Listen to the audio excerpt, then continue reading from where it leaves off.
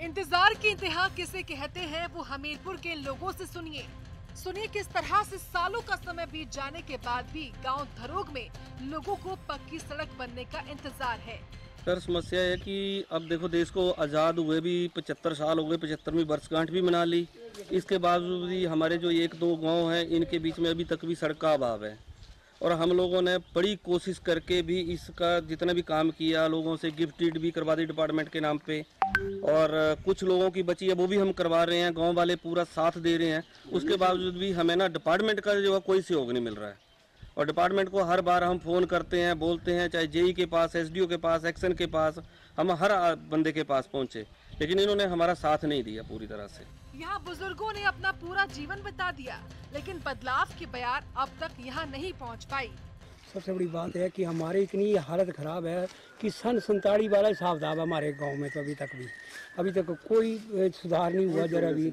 और इतनी सड़क की हालत ख़राब है फ़र्स्ट एड नहीं मिल रहा है किसी को और कई मर गए हमारे गाँव के तो। बहुत ज़्यादा मर गए आदमी। हमारे गाँव के लोगों ने काफ़ी साथ दिया। तो निकाली लेकिन कई लोग बीच में नहीं मानते हैं और सरकार भी इसमें कोई ध्यान नहीं देती है।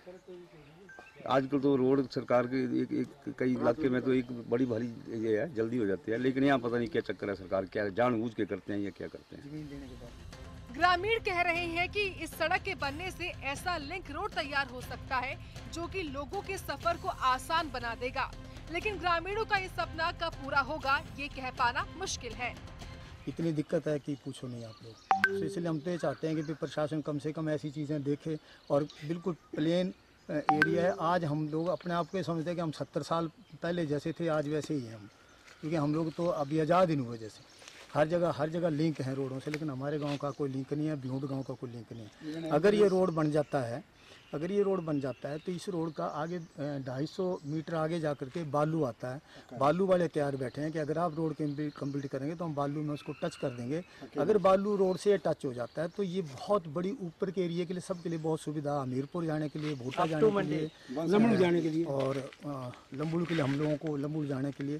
तो काफ़ी मतलब बहुत अच्छा लिंक रोड बनेगा ग्राम पंचायत प्रधान चंद्रशेखर ने भी बताया कि कैसे ये इलाका प्रशासन की अनदेखी का शिकार हो रहा है और लोगों द्वारा सड़क के लिए ज़मीन देने के बाद भी लोगों को सड़क सुविधा नहीं मिल पा रही है। हमारी पंचायत में एक सड़क की समस्या नहीं है। हमारी पंचायत में तीन चार सड़कों की बहुत ज़्यादा गंभीर समस्या है। ये सड़कें ठीक न होने से कम से कम पूरी पंचायत में जाने तो पंद्रह, बीस तो मौतें हो चुकी हैं। जो कि गाड़ी टाइम से एंबुलेंस नहीं पहुँच पाती या पेशेंट को आगे पीछे नहीं हम कर सकते हैं। तीन चार सड़कों की हमारी बहुत ज़्यादा अपनी प्रॉब्लम डिपार्टमेंट भी कोई इतना खास केयर नहीं किया। करीब एक साल पहले कुछ इसका काम लगाया था। तो करीब करीब 400 मीटर तक इसके डंगे डुंगे कंप्लीट हो चुके हैं। जिसके, उसके बीच में डिपार्टमेंट फिर चला गया, छोड़ करके। कि बोला, यहाँ पर डंगा होगा, ये म्यूटेशन नहीं है। पंचायत ने, गाँव वालों ने जेब से पैसे इकट्ठे कर करके वहाँ भी डंगा दिलवाया हुआ उसके बाद निरंतर फिर हम अपने डिपार्टमेंट के पीछे गए डिपार्टमेंट के पास गए।